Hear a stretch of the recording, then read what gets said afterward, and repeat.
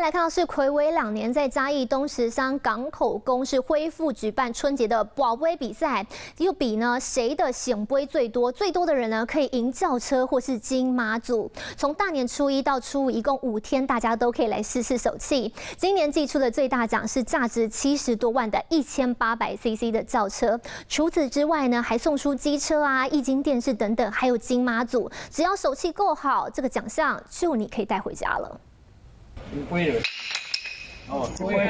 农历春节假期首日，民众就到庙宇卜杯，先试试手气，各个摩拳擦掌，锁定好广场上的大奖，想把他们赢回家。像你过年会过来过会来？哎哎，想那你想要卜什么？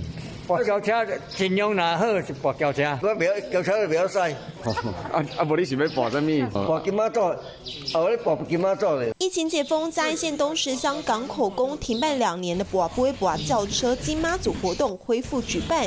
今年技术大奖第一名可开回价值七十几万的一千八百 CC 轿车，第二名也有车送的是一千五百 CC 的轿车，三奖则能骑走一百五十五 CC 机车，四奖五奖送出一百二十五 CC。的机车取最多的醒杯来分名次。啊，刚刚讲添一千块的油香，就是有这个资格来博这个轿车。过去来博轿车，拢总只有一万人，哦，啊，今年的突破会几啊万人。你往年有博过无？